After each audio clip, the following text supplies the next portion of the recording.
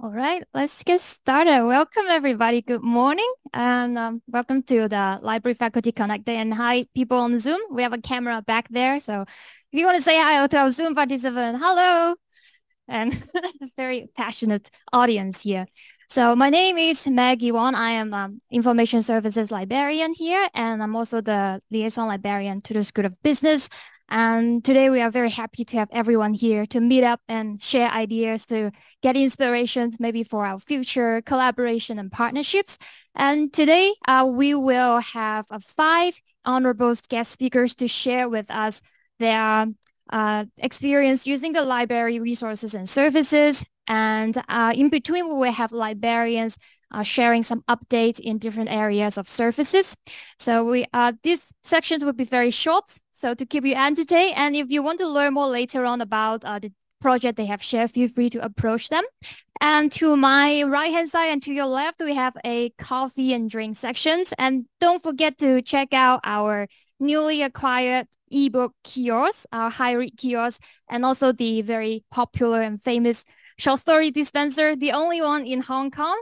And uh, recently we added comic strip contents to the short story dispenser. So feel free to check it out. And without further ado, um, I will pass the mic to our university librarian, Mr. Chris Chan, to give us a warm opening speech. Well, thank you so much, Maggie. I don't know how warm uh, my speech will be. I'll turn the temperature up. Uh, so, ladies and gentlemen, a very warm welcome indeed to Library Faculty Connect Day 2023. And as uh, Maggie alluded to, this annual event uh, aims to highlight the variety of services and support offered by the university library.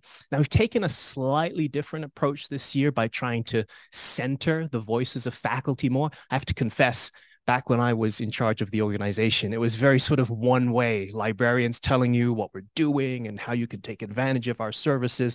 So this time we're taking a, a different approach, asking faculty to share how they've uh, made use of our services uh, for enhancing their teaching, research, etc. And I'm really, really grateful to all of our speakers for their time this morning. Now, for my part, I intend to take as little time as possible for these opening remarks so that we can get to the sharing. But I do ask for your indulgence. Now, my colleagues recognize this because I show it at almost every library meeting. Uh, I once again share this guiding principle. It's kind of animated all of my efforts since taking over as university librarian two years ago. Uh, so this mission, the mission of librarians is to improve society through facilitating knowledge creation in our communities. I find this phrasing so compelling because it serves as a constant reminder to, to me and my colleagues that we as librarians are not just responsible for a collection of books or even a collection of e-resources, uh, nor is the maintenance of the library's physical spaces our only or principal concern. Rather, our mission is to do uh, whatever we can to effectively facilitate knowledge creation in this, the HKBU uh, community. And this work really takes a myriad of different forms, uh, and many of which we'll be talking about today. Uh, so just looking at the rundown, we're going to hear about how librarians have supported teaching and learning through information literacy instruction. We'll further learn how our transformative open access agreements have helped the work of our scholars reach a wider audience. And we'll next discover how we partnered with faculty and students to develop this very space that we now find ourselves in, the Transdisciplinary Discovery Commons. And last but certainly not least, we'll find out about the essential work uh, being done to preserve unique archival materials and uh, to ensure they can be studied you know, for generations to come. And those really, it's even though that rich agenda is just a few examples of the work that librarians are doing every day to support the university's mission. And all of this is made possible by the good communication and understanding of our faculty and staff partners. So my sincere thanks, as always, for your ongoing support. And uh, with that, I just wish you an enjoyable morning and I'll pass it back to Maggie. Thank you, Chris. That was very warm indeed. And um, um, now I'm going to introduce our first speaker. And Lucky my husband is a Romanian, so I've been practicing how to pronounce the name. So Dr. Yulia Gheorghiu. And from the like, I'm good. Yeah. Okay, cool. Uh, she's the lecturer in the Department of Sociology, and she will be uh, talking with us about uh, library teaching support.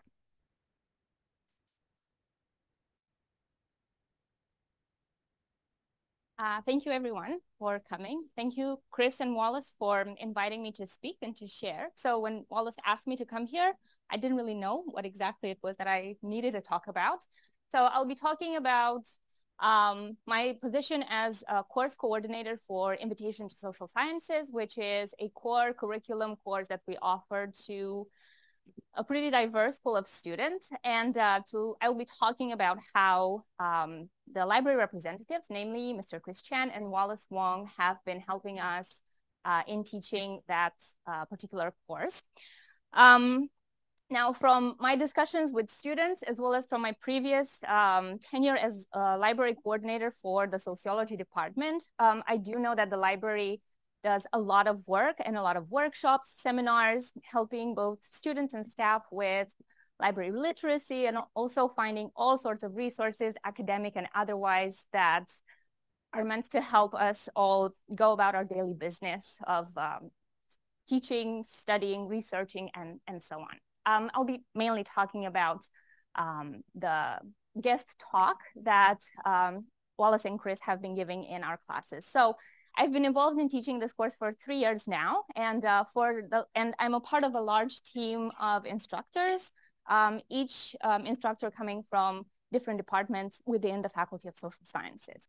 Now, for the last two years, we've been um, very grateful to have Wallace and Chris give an information literacy uh, talk where they introduced our students to different types of um, sources, academic and otherwise, both media and non-media sources, and they've been helping us to help students understand, engage critically with different types of sources and to um, sort of understand the different levels of authority as well as credibility that each of those sources actually have. And so um, this is obviously very important as anyone who has been involved in teaching in the last few years knows, since our students have access to so much information, but they're not always necessarily um, very adept at actually selecting the sort of right information, particularly when it comes to writing academic essays, um, as, um, well, there's just too much to choose from. Um, and so um, based on conversations that I've had with other colleagues teaching this class, um, the uh, guest talk has been very effective. And this is not a very easy task to accomplish because actually teaching that class is not necessarily very easy. So it's a diverse pool of students. They come from both BBA, so they're year one students who haven't yet selected their majors. They're also senior year entrants who have been in community colleges across Hong Kong and have already joined departments that they're majoring in. So coming up with or tailoring a course that can actually uh, cater to their needs um, is not necessarily very easy. So we rely on both students' engagement in, uh, in the classes where Wallace and Chris have been teaching, uh, their performance in the assessment as we did incorporate the uh, library talk uh, within the assessment, and also their ability to uh, work um, afterwards when we say that it was really a very effective um, resource for our students in learning to engage more with um, all kinds of um, uh, sources, both um, academic and otherwise. Um, now, before I wrap up, I do also want to thank Chris and Wallace for all of their support during the time when I was library coordinator for my department um, because they were always very helpful and supportive in providing answers to the most ridiculous requests um, and um, also for more um, um, important or substantive ones as well um, and in always recommending the newest resources that the library had acquired that could have been helpful to either myself or my colleagues in our um, teaching and research um, efforts. Um, and so the last thing that Wallace suggested that I could talk about were some suggestions for what the library could do more of. Now, um, I know that this may be something that okay, some people may be more adept at working with and others less so. Perhaps Dr. Morehouse would be able to speak more to it because I know you're on the university task force on that.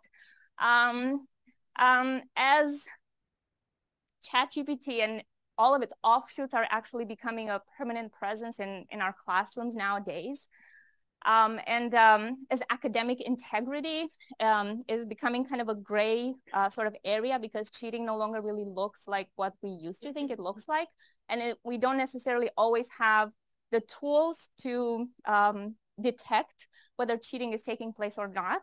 Right? Turnitin tells us one thing and then other software to detect tell us other thing. Um, perhaps the library could um, help us uh, navigate through this particularly new challenge that, uh, that we all have to face, right? So I just want to thank you all again for inviting me to speak to this. Thank you, Dr. Gheorghiu. And um, no matter how ridiculous your request is, well, we are happy to accommodate. So don't worry, send us your teaching support requests.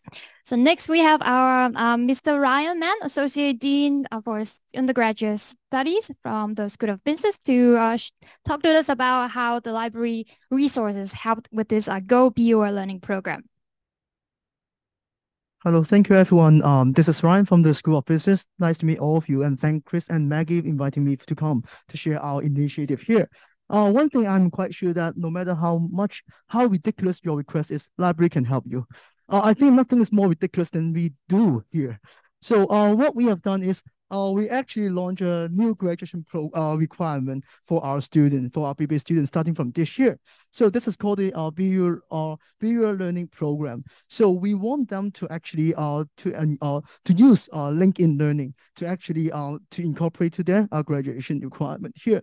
So what we have done is uh, we actually uh, collaborate with LinkedIn and also HKBU Library.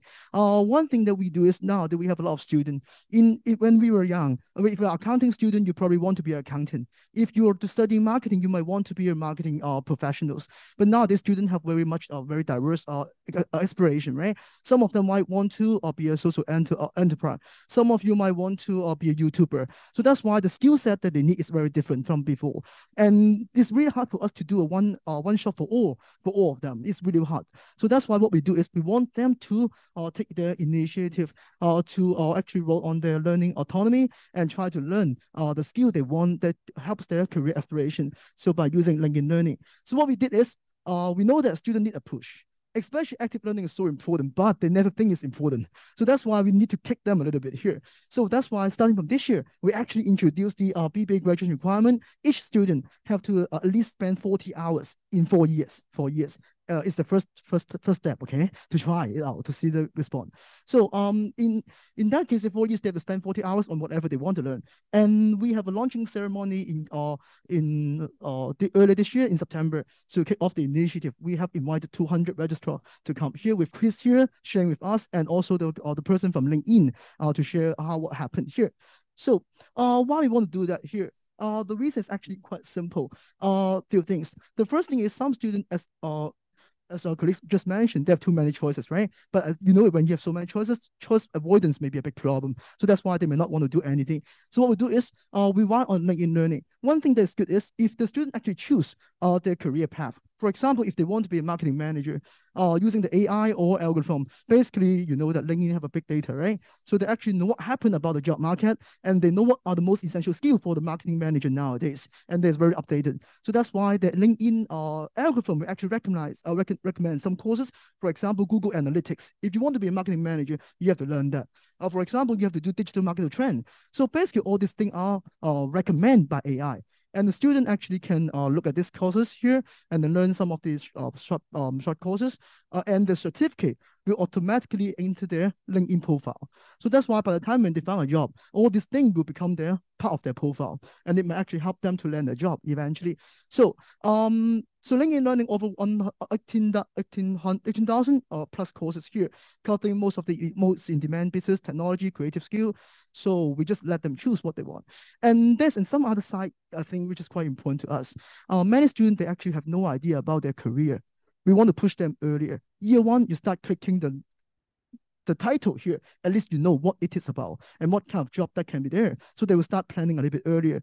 And the second important thing is it almost forced them to create a LinkedIn profile uh, which is extremely important. So uh, you know, for networking or even in the long run for university ranking, it might be helpful. Okay, yeah, seriously, eventually they have to look at uh, employ employability, right? So that's why uh, they check the data from LinkedIn for sure. You can imagine. So that's why um, so that's why we want to do this as well. So um, this is what we try to do and want to achieve here.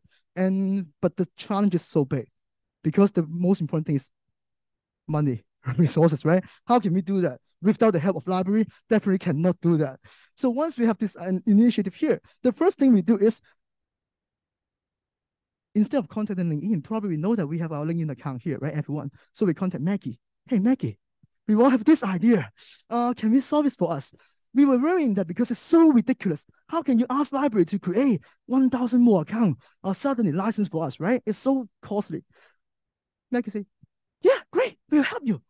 Wow. So that's why I'm quite sure, no matter how ridiculous it is, they will help us, okay?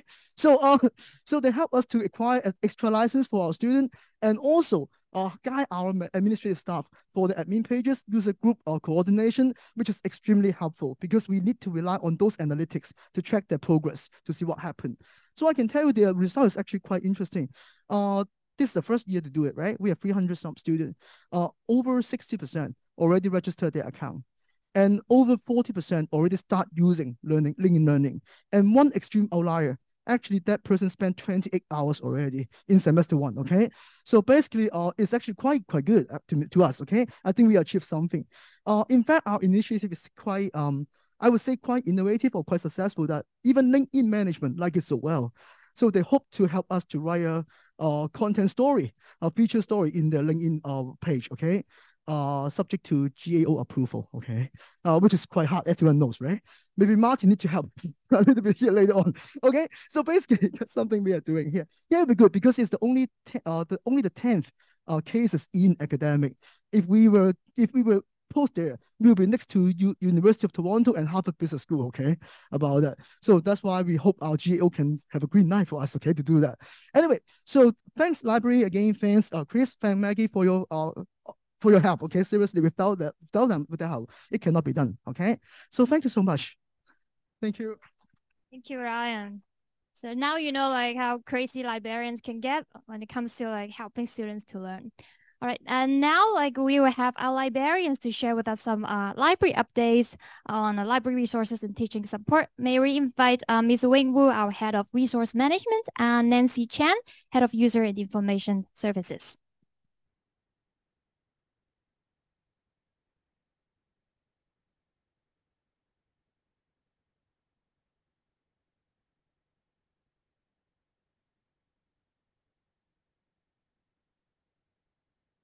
Thanks, Julia and Ryan for the valuable sharing. So Wing, as here in HKBU, we are just like a solar system. As seen in the slide, actually, faculties and faculty members are orbiting the university for academic excellence. While our strong team of liaison librarians at the back providing wonderful teaching and learning support. So you will see that um, as our faculty members and admin colleagues actually welcome to contact your liaison librarian directly and see how we integrate library resources and training with your courses and teaching activities. Possible tailor-made Topics include information skills, subject-specific databases, and EndNote and citation management. So if you scan the purple QR code at the bottom right-hand corner, you will find the entire list of library coordinators and liaison librarians so that you will find Maggie, our MC today, supporting business, May, over there, communication and creative arts, also arts for the time being temporary. David, our Chinese medicine librarian, Wallace, Wallace for social sciences, and also we have Joyce and Sylvia full Zoom online supporting SCE and CIE Shek Mun campus also myself, Nancy, for science and transdisciplinary programs. So feel free to explore more possibilities together with us. Okay, so uh, we have all these uh, crazy librarians, and for me, I, am in charge of the resource management uh, in the library. So we work at the back end, and then um, to acquire um, um, the library collections to uh, support your teaching and research as well. So in this solar system, uh, we also put different um, new resources, mostly are new resources um, uh, in this uh, uh, uh, slide. And uh, again, if you slide, uh, if you scan on the QR code on the kind of a top right, the black one, you will see all the um, uh, databases already subscribed by the library. And in here, I mean, we only highlight a few, particularly the new resources we acquired last year. Um, I think there are a couple that I would like to uh, highlight here because uh, they are quite uh, different from the traditional library books and journals resources. Uh, you will see uh, in the middle uh, at the top, there will be a SDG online. Uh, it's a, it's not a database, but it's a, um, a um, resources that integrate a lot of uh, books or journals or even um, audiovisual materials. And by theme, they will say uh, different SDG theme. So when you click in the each theme, and you will find the resources on this matter. So this is quite a um, unique resources if you are interested in the SDG uh, topics. And uh, below that, you will see a um, the black one is called Kanopy. Kanopy is a video streaming uh, uh, resources. And um, we do occasionally receive uh, some uh, recommendation from faculty member that, oh, I mean, instead of like checking out our physical uh, video uh, collection, do you have any online streaming one? So Kanopy is the one uh, that we have. And this is one of the few that they can also, I mean, uh, let library to subscribe to it because we do receive some other recommendations, but the vendor say that, oh, no, it's not for uh, a library to subscribe. So Kanopy is uh, one of the uh, video uh, streaming uh, resources for you to use. And uh, LinkedIn Learning, um, I think um, is already here for a few years, but this time uh, to collaborate with the business school, we um, actually expand to have uh, double of the seats available for our uh, uh, students, particularly the business students to uh, access to create the account. And then uh, we have a uh, Libraries. Kono Libraries is a um, California-based uh, uh, vendor. They provide a lot of fairly uh, leisure magazines in uh, different languages, uh, Japanese, Korean, um, Chinese, and uh, English, of course. So this is more um, for uh, a uh, leisure reading online for or for any user who are, want to enjoy some magazine materials. And at the bottom, the red one, Chicago Manual Online, Chicago Manual Online, and um, the first time we subscribe to these online resources for, um, um, um, I think for, for doing citation, that would be very useful. And um, I also highlight another one, the one look like uh, the, the Saturn uh, is the um, BKSY. Actually, it's the Shanghai Library uh, uh, database. If you're doing uh, Chinese research in uh, Minguo or, uh, Republican period, we acquire a, a few uh, new uh, database subset. Uh, mainly is Chinese uh, uh, newspaper published during the Republican China period uh, for you to use. So um, these are a few. And um, on the top right, I mean, is being hidden. It's called Osmosis from Elsevier. This is a very specialized database uh, for nursing program. As uh, you may remember, a few years ago, uh, HKBU opened up our first uh, nursing program. And um, each year, they have been getting uh, quite a good enrollment. And um, the student will use uh, Osmosis for their um, clinical um, um, studies. And uh, SAGE research method is another one that uh, is a very um, uh, multidiscipline, uh, not only just book chapter or whatever, they also have data set, also video inside too. So um, this would be uh, very good for, I think, not only the um, uh, um, teaching, but also research. So uh, these are some of the highlights for the uh, resources. Um, and uh, I, I mean, like, if you have any recommendation, feel free to contact your liaison librarian and let us know. But of course, I mean, this will also be, I mean, we need to struggle with our library materials budget. so I know, Chris, I mean, we have been talking about the library budget all the time. okay, thank you. Thank you, Wing and Nancy. And now we will move on to a new topic, scholarly communications. And our first speaker for this section is uh, Dr. Benjamin Luke Morehouse, Assistant Professor in the Department of Education Studies, and he will share with us about open access publishing. Uh, thank you so much. Uh, uh, thank you, Chris, for inviting me to talk today. Uh, I'm going to use my Scopus profile uh, as my main slide uh, because I'm an academic and I need to self-promote primarily. Uh, but, but also, uh, it kind of presents to you the benefit of open access. Uh, so uh, the reason I wanted to show it to you is because I think I'm also, I'm almost at 1,000. I was hoping it would be 1,000 today, but almost there. basically, if I go to my cited by highest and I look at my top 10 cited papers, all of them are either open access or sometime they were free access. So that means my case, myself, have hugely benefited from the concept of open access. And I try to think about why that might be. And I think there's a number of reasons we probably know why, right? More people can access it. More people who don't have wonderful databases like we have can access them in different countries and different contexts. Two, generally people are lazy. So if there's an article that they can click on and download straight away, they're likely to choose that one over the article that requires downloading or going through the library system to get to. I think three, uh, AI will pick up these articles more commonly now. Uh, there's been a lot of debate about how uh, different AI tools build their databases. Uh, there's a big assumption that they can access open access materials much more accessibly than closed uh, access materials.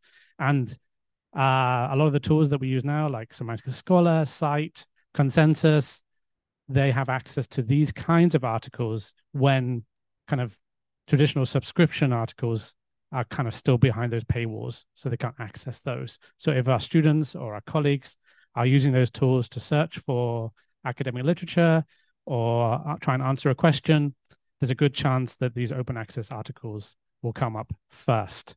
Okay, so I think these are the kind of key reasons we might see this kind of trend in my publication record. And as we go down to the bottom, we start to see the more closed accessed ones uh, there as well. Okay, uh, so I think that's reasons. Uh, for me, uh, there's another benefit I think for open access that's huge. Uh, I'm an educational researcher, and one of my target audience for my articles is actually frontline practitioners.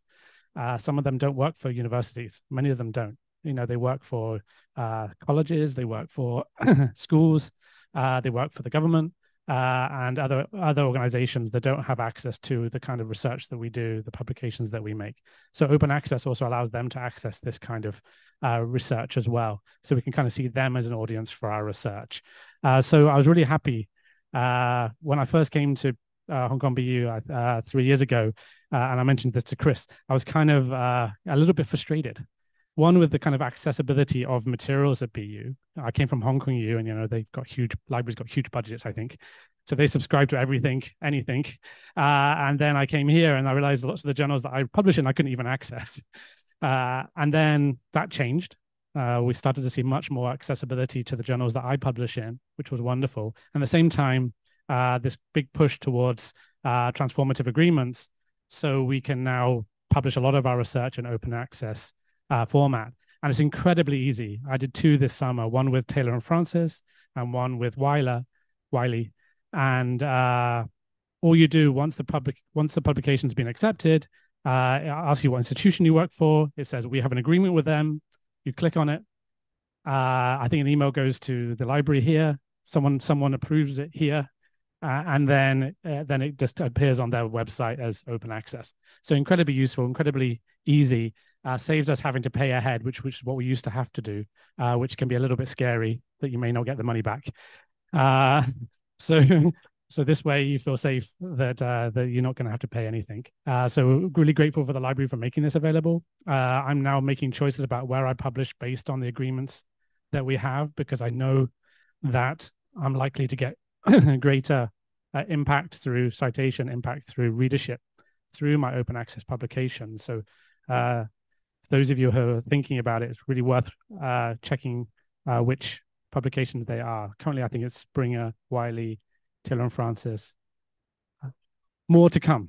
Watch this space or watch Chris's space or the library space and you'll see. So that's what I wanted to share. And thank you for the library for, for allowing more people to read our research. Thank you. Thank you, Dr. Morehouse. And absolutely, I'm like the lazier person. It's really annoying to have to log in all the time, you know, to library resources. And uh, sometimes I just like, I'll never forget it. So please do like publish your articles open access, or if you have any question to uh, ask the library. And now, speaking of open access and our scholarly communication support, uh, we will invite Ms. Rebecca Wong, our head of uh, digital initiatives and research in the library, to give us some updates. First of all, thank you, Dr. Morehouse, for your very convincing case. I hope after listening to his speech, you all agree that OA is a very important step for you to take to enhance the visibility of your research. So I'm Rebecca. I'm res responsible for the research support services of the library because the uh, OA is very important. So actually the library has three ways to make your articles open access. The first is that uh, whenever you import, you record a research output into IRIMS, the library would check the OA policies uh, from the publisher's website or sometimes even email the publishers for clarity so we can make all articles published under a CC license can be made OA through our IRIMS. So this is the first step. The second step is that I think you, most of you have already received uh, uh, several rounds of email that sent from the library asking you to send us to your author accepted manuscripts. You have, if you have received those emails and if you have responded to us, your manuscript are already made available uh, through IRIMS for public access. The third part is that uh, is uh, what the service that uh, Dr. Morrows uh, just mentioned. This is the transformative agreements. The library has signed uh, transformative agreements with several publishers. And so far, there are 155 articles made OA through this TA provision. So uh, in 2023, there are eight publishers uh, signing uh, TA with us. Uh, the names are here. And there are three more publishers to come in 2024. Uh, that is Springer, ACM Open, and also IOP. So out of these 155 articles, the departments that got the most advantage of the TA provision come from the Faculty of Science, followed by Faculty of Arts, and then School of Communication. So as Dr. Morehouse just mentioned, the process is very easy. It's uh, almost transparent to you. So you just have to accept uh, or agree that your article to make OA. So uh, several weeks ago, we decided to take up a study, although not very scientific, but we hope that to learn whether uh, there is a real impact of, you know, making your articles OA. So we look back to our TA log, and then we select 18 articles uh, that are made OA through our TA. And then we also try to find another article written by the same authors, published in the same journals, but is closed access. So here comes 18 pairs of articles. And then we use Scopus to find the citation counts. As you can see that the orange bars are the OA articles, the black bars are the non-OA articles. You can see that OA articles have much more citations than the non-OA ones. So other than uh, making your research output uh, open access, we also have another service that is digital scholarship services who will help you to make your original research data or original research materials uh, openly accessible. So uh, we have a D SG grant for you to apply. Although the deadline has just passed, you know, it's the end of November, but if you still wanted to try or want to learn more, you can contact uh, my uh, colleague, uh, Dr. Eric Chow at the end of the hall. So uh, in the last minute, I just want to show you several screen cap that to demonstrate what we can do through this service. Uh, this is a project that contains lots of network graph. Uh, it's a collaboration with a communication professor. Uh, we also develop a number of corpuses. This one is uh, co-developed with a translation professor. Of course, digitization is one of our main theme too. Uh, we do scanning, OCR, indexing. Uh, this is with a film professor. And nowadays, we develop more and more GIS application. This is uh, the one that developed with a history professor. So uh, if you want to learn more about OA, please contact me after the event. If you want to learn more about the digital scholarship uh, services, please contact Eric. Thank you. Thank you, Rebecca. And do check out a lot of digital projects. Uh, they are really beautiful and really useful as well. And next, we will move on to uh, to our library exhibition and uh, collection discovery section, and we will have Dr. Glassho, director uh, in the Division of Transdisciplinary Undergraduate Programs, to talk to us about the program and also this space, TDDC.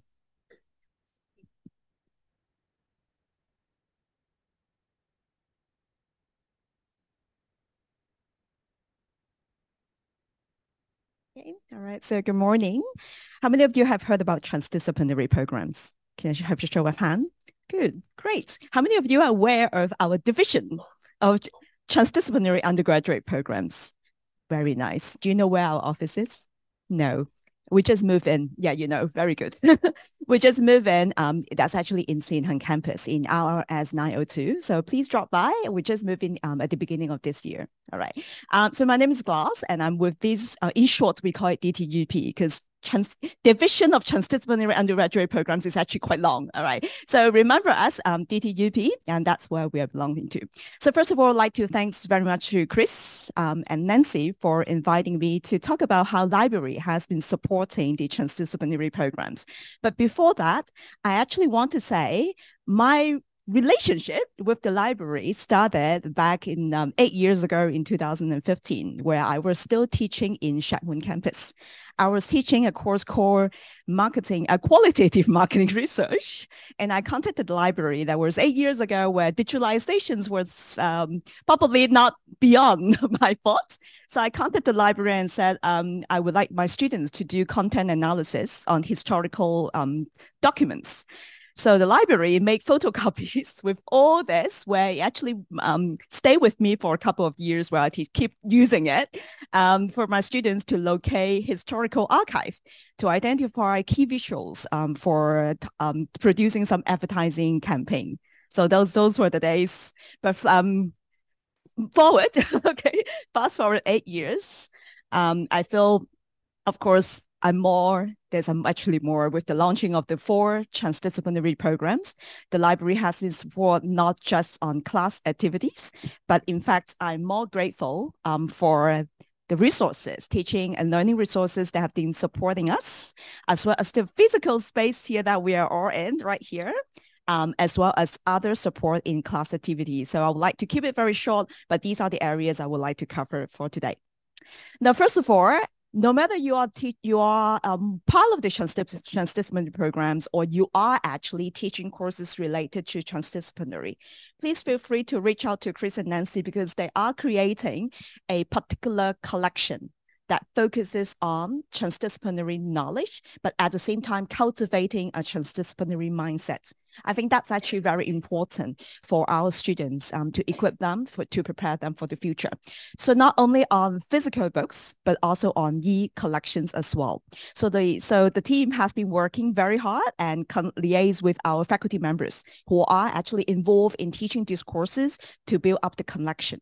So as you can see, when we cultivate child transdisciplinary mindset, we also want them to help the society to address um, social issues, environmental issues. So SDG is also one of our focus. And in that regard, they have also came up um, with, I mean, they have subscribed to these SDG online. And I have to encourage everyone if you are interested in SDG, this is indeed a very, very useful resources, both to the both for the teachers as well as for the students. And we have experienced it for over the past uh, two years where we encourage our students to log in. Um, things are very updated. It's very relevant as well and easy to understand. So, and then we um, we also feel like these are the confined area, confined like um, hub for students to discover new knowledge related to the, this SDG as well. And of course, we also encourage our students to come to this place because if you think that we do not know how to tell students about these resources, please feel free to email Chris and Nancy because they will help you to do the job to tell students about these resources. This is exactly what they have done for a library workshop to introduce. So you can uh, either invite your students to come to this place here, all right, to discover things together, or you can invite them to go to your class. But I, of course, suggest them to invite to this place because when I was back in school, I always thought library is supposed to be very quiet. And now when I speak right now, I feel a little bit uh, very different very different. So I also want our students to view different, the different side of library as well. All right, so, and then with this place here, which you can see, this is what they call the Transdisciplinary Discovery Common, TDDC. Um, it's a place for discovery and exploring when we when we are not here today, where this uh, professional setup, there's supposed to be bean bags. There are the lights will be dimming lights. There are showcasing of artwork. There are showcasing of different work. So if you ever think about, do you want a place to showcase your showcase your student work, either a digital work or a physical work, do think about this place because this place is actually not just for this transdisciplinary students. It's actually open for the whole university. Right. Um, so we also were very fortunate because the Chris and Nancy allow this space um, as a place for our students to experience to actually apply what they have learned as well. So one of the transdisciplinary programs, Arts and Technology, our students completed a two-month summer internship here. So all the work that they've done here uh, partially were as the outcome of the students because they were they followed ideas to outfit the interaction um, interactive kiosks discovery relocations and also the creations um, of books as well. So we also provide our students to also contribute. So i think it's a two ways engagement. Okay. Sorry and of course, when we have all these students work, we don't want to just limit to university, um, Hong Kong BU community. So whenever we have overseas visit, and this week we're actually receiving uh, professors and students from Western Sydney University, we also invite them to come over to this place um, to actually explore. So it's not just limit to our community as well. So thanks, Nancy, for that. Okay. So what I've just talked about is resources, teaching resources, one-way provision, or you can ask librarians to come to your class, it becomes two-way. And then you can also invite your students to come here. That's more engaging. But what I thought it's even, we could do even more in the three-way communication or three-way engagement is that the library support in one of the courses that we teach called Global Challenges. So allow me to do a bit of marketing here.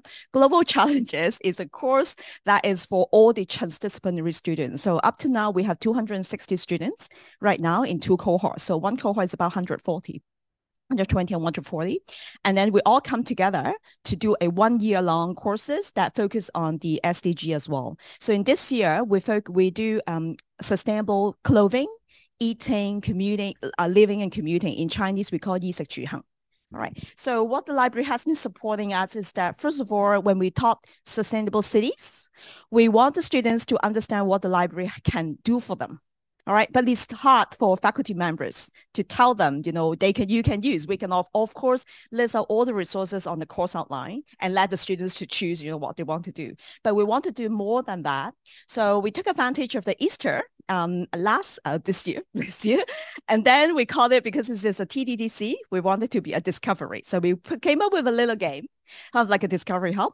I did when in my course is 140 students, so we divide them into two tutorials. Actually, we are having 70 students in one tutorial. That's a big class. So what we do is we invite them by in groups to come over to the library where the other students were still in the classroom. And then the librarians came up with the Easter egg with these cities, um, the lucky draw. And what they have to do is that they will have to scan a map here so they will have to locate resources, either e-resources or physical resources, and they have to scan the app to and then to drop their pin of and identify that place what are the best practice in sustainable cities. So and then it's a synchronized um, thing at the same time. I know it's kind of low tech as compared to AI, but uh, but it works. Okay. Um, and then back in the in the classroom at the at the same time, the students are seeing all the work and so it's like a racing game. So whatever showcase the best uh, best practice, we get a small gift as well, given by the library as well. So that was one of the things that we did. And when we talk about sustainable clothing, um, we at that mo- at that time where university were just introducing um, ChatGPT, okay, official use of ChatGPT. So we thought we contact Chris and say, would you like to come to um, my class um, to talk about um, the overall library resources, but particularly on how students could use ChatGPT? As one of the, some of the faculty's members here we've just said, these informations are just too open, too many choices. We don't know how to select and we don't know what to do with it. I personally don't know how to do with it as well. But Chris is amazing who came up with this section plan provided by the library. I actually learning from him. So it, gives you a very um, detailed um, uh, plan of what he's going to cover. And at the same time, we also work together all right, we after Chris introduced the ChatGPT and about how to give prompts to to ChatGPT, we also require our students to write a reflection paper. So instead of limiting them to do it, we actually encourage them, and we have professions here to tell them how to use it, and then they we gave them assignment um for for it. So we're actually very grateful for that experience. All right.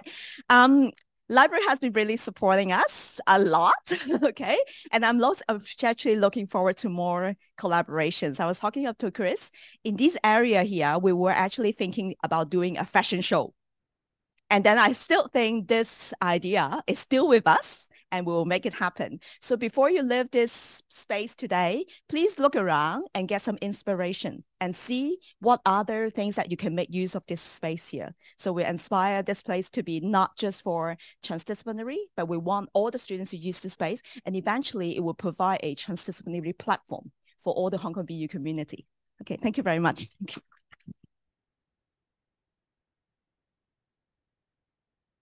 Thank you. Dr. Ho. Absolutely very interesting uh, projects and programs there. So do follow their, um, I think, IG and follow the library IG as well. Might as well on Instagram.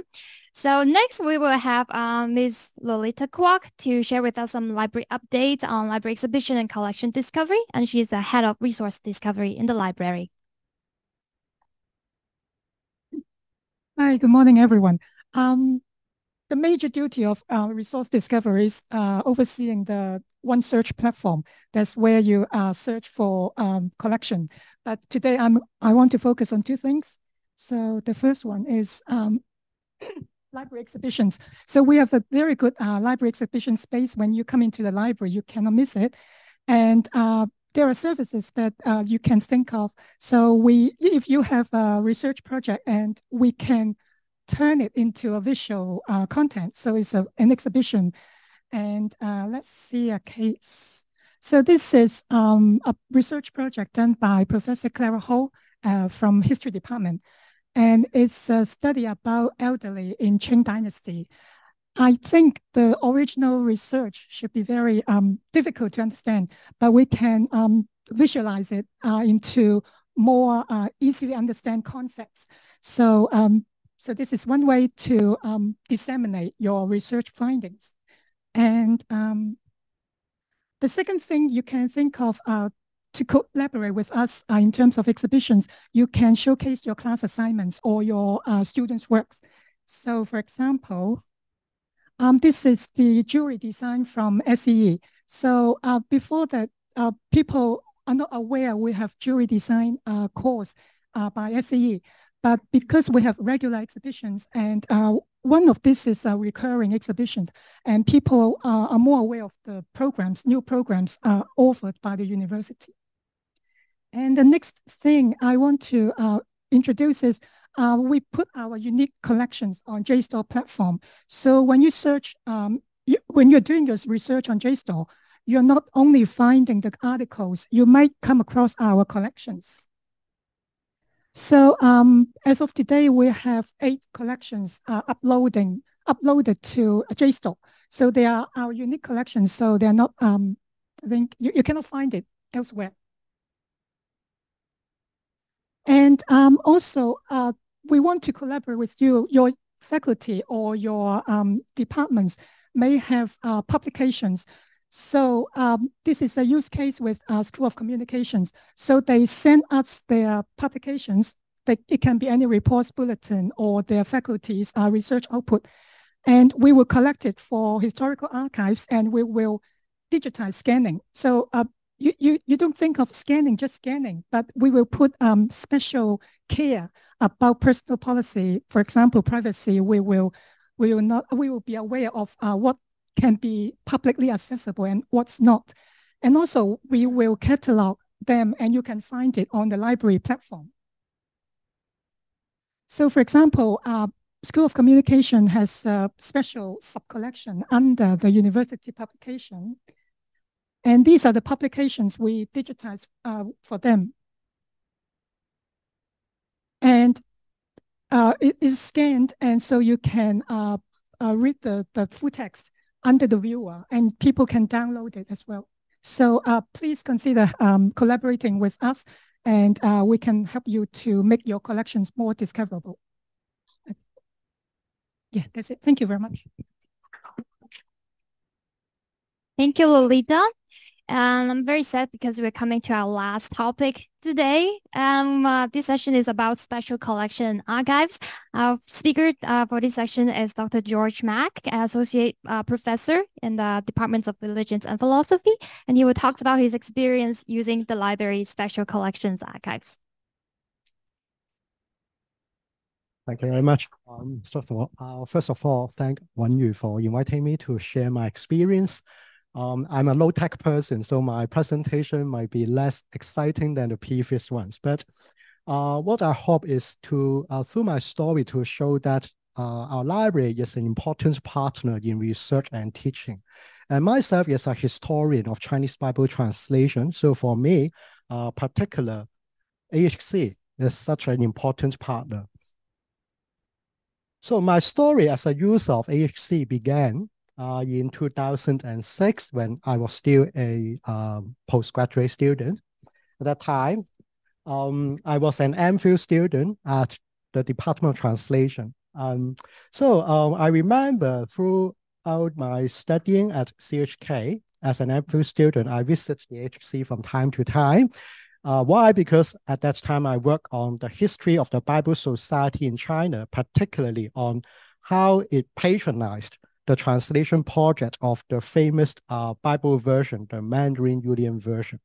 So, uh, of course, I found a lot of useful materials, but one of the things I remembered most uh, is something I listed in my bibliography. So, uh, this uh, is the revised version of my MPhil dissertation. The library has two copies. One of them is in AHC, okay? Um, so why I mentioned this, um, actually this piece of work uh, is a memoir of Alexander Wylie, so a very famous sinologist in 19th century, uh, written by a French sinologist, Henri Cordier. So it's important because I did not know much about the man, Alexander Wylie, who was the first permanent agent of the Bible Society in China. And because of this, uh, even though it was available only in microfilm, I still was able to extract information from the memoir, providing important contextual information for my dissertation. So um, the story um, goes, I completed my dissertation in 2007 and I be, uh, continue my studying. Okay. Oh. Okay. Um, so I continued my studying. I did my doctorate in Cambridge uh, between 2007 and 2011. And this time I work on an interesting topic. So I want to know how Bible translation contribute to Mandarin, uh, the development of this language from simply a lingua franca in imperial China uh, into the national language of China. Uh, in my during my doctoral studies, I came back home from time to time. And whenever I was in Hong Kong, the HC was the place I must visit. Why? As I wrote in my introductory chapter, so this was the revised version of my doctoral thesis published in 2017. Uh, unfortunately, we don't have a physical copy in the library collection because uh, only have a digital uh, uh, copy. But anyway, uh, I highlight the importance of the HC in my book because it contains a vast collection of microfilm materials.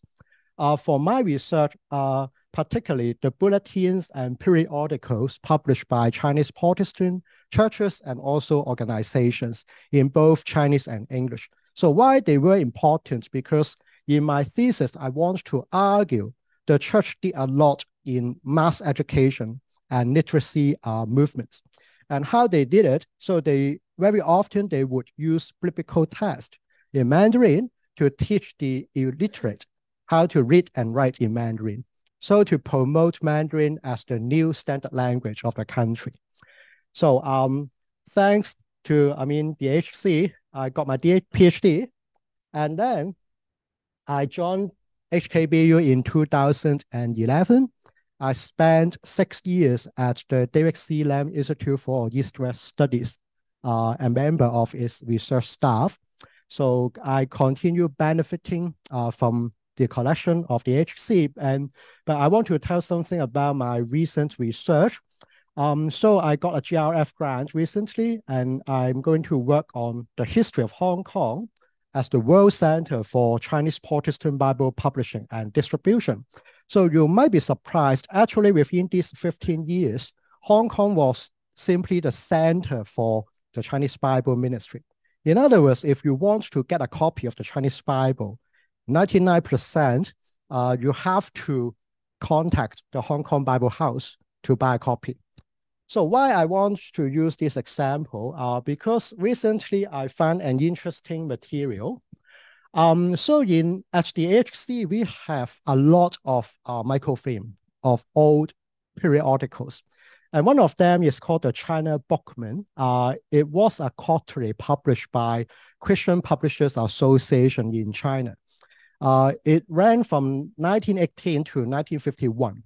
So it happened that uh, one day I uh, used the microfilm reader and read the microfilm, and I found an advertisement of the China Bible House, so the Bible Society in China. And I find that this advertisement shows the address of its Hong Kong office. So from this advertisement, I realized, oh, okay, if I were a Christian in Hong Kong in 1950, where could I get a Chinese Bible? So I have to go to uh, the first Ice House Street. So where is it? Is the site where the Mandarin Oriental Hotel is located. Because in the past, it was the site of the building called Queen's Building, where the office was located. So you have a lot of interesting stuff from the HC.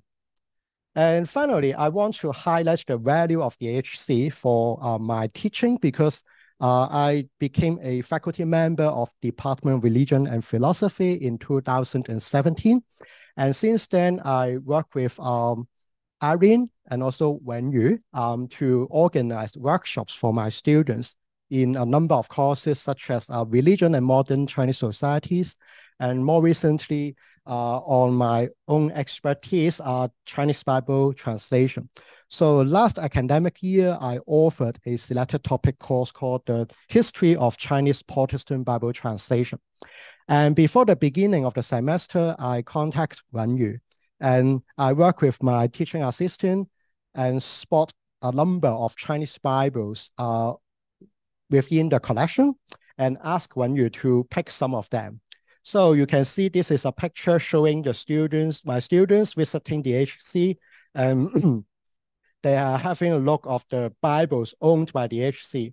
And I particularly highlight this one. You can see an arrow pointing to a large Bible next to Wen Yu. Actually, it's a New Testament. And I would say that this is uh, one of the most valuable books owned by the HC so it's a copy of the so-called imperial edition of the delegates version, which was published in 1894. So why it's called imperial edition? Because it's one of the copies of the edition prepared for celebrating the 60th and uh, birthday of Empress Dowager Cixi in Lei Qing. So um, as I remember, it's actually donated by one of the former colleagues of the library. Yeah, so uh, if you did not join my workshop, no problem. It's digitized. You can visit the online collection of HC. And I also want my students to know that how hard I was when I was a student. So I asked, so Alice of the HC, so she was demonstrating how to use a microfilm reader. So students were fascinated by these uh, gadgets. And finally, I conclude by showing you that, so this uh, boy, so it was his first time to use this machine. He was very happy and he made a copy of a page of the Chinese Bible as his souvenir. So that's the end of my story. Thank you. Thank you, Dr. Mak. So do uh, try to visit like the special collection and archive is just uh, on level four. So go two uh two floors up, then you will see the section over there. Feel free to reach out to Wen Yu, which is our final speaker today, to talk about the collections a little bit more. And Wen Yu is our special collection and archives librarian. Thank you, Maggie. Uh, before I start, oops that one. Okay. Before I start, I would like to pass, take the opportunity to pass um, pamphlets introducing special collections and archives to our visitors here. Firstly, thank you, George, for the free advertisement of AHC collection. Um, it is indeed the uh, flagship collection in our section. Uh, we take a lot of pride in looking after it and uh, we continue buying materials and develop the collection so it serves teaching staff and research staff better. Um, we also uh, undertake a lot of digitization as uh, showed us um, before. Uh, apart from Christianity publications in the AHC collection and university publications, um, we, we've also digitized other publications by Hong Kong church and religious organizations. Um, they are they can be all found on the library's website. Um, if you go to a tab called Collection Discovery. Um, apart from that, uh, we the special collections and archives also look after some personal papers and organizational records.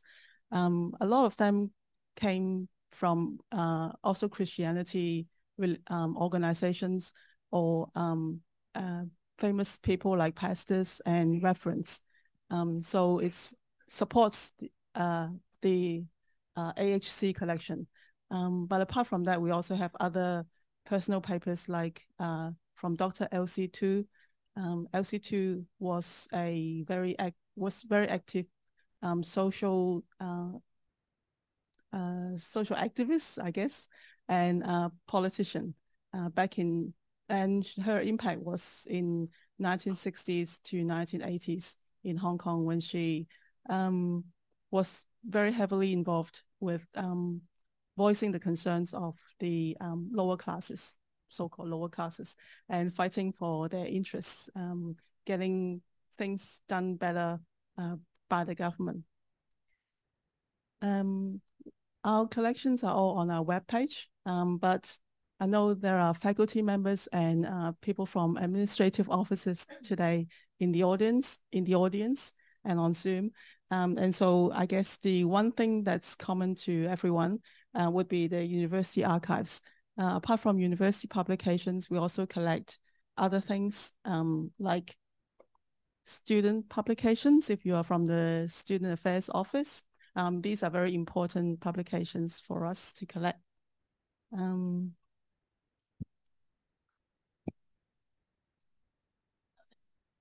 And we also have like event flyers or um, award related organ um, publications.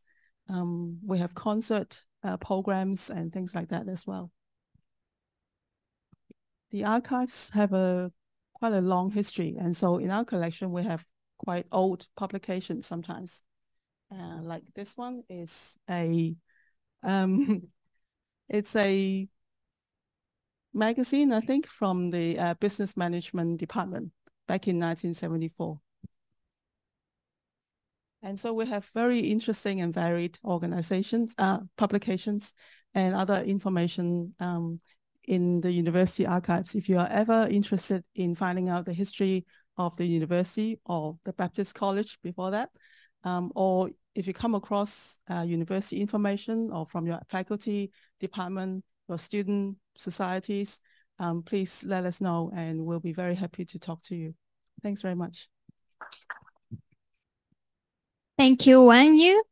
And um, now is the Q&A time. And we already have a question from Zoom. So let's first take a look at that one.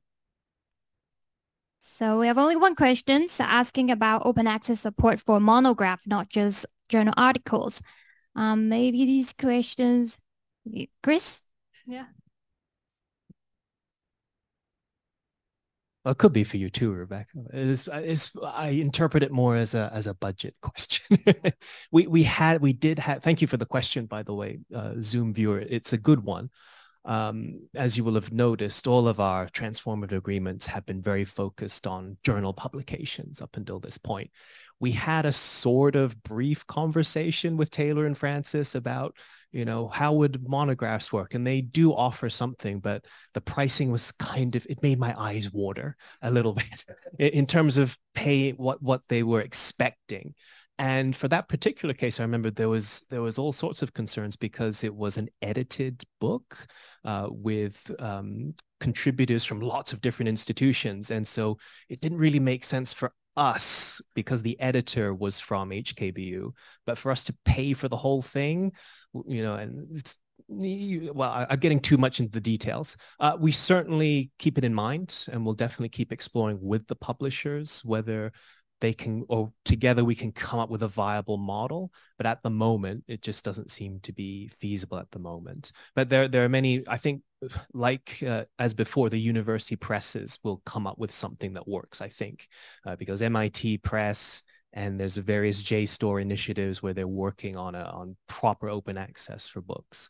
Uh, I don't think it will be the sort of transformative agreement style that we're doing, but it's a case of watch the space again, I think. But thank you for the question.